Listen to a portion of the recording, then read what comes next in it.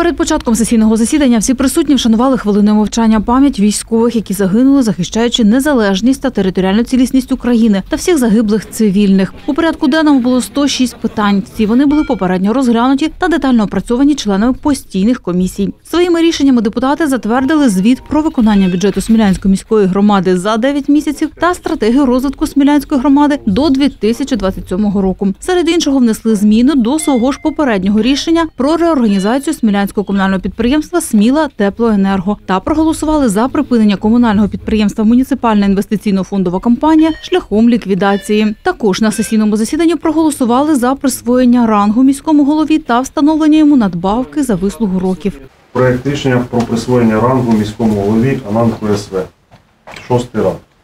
Про встановлення надбавки за вислугу років міському голові Ананку СВ. Е, може хтось сказати, яка буде надбавка? І понад 5 років, що дає е, надбавку за вислугу року в розмірі 15%. Скільки це в грошовому виразі? 15%, 15% від, від від посадового Посадового окладу. Це орієнтовно 2000 2000 гривень. Значну частину питань порядку денного складали питання виділення коштів жителям міста, які опинилися в складних життєвих обставинах, бюджету громади, комунальної власності, земельних відносин. Інші стосувалися житлово-комунального та соціально-економічного розвитку міста.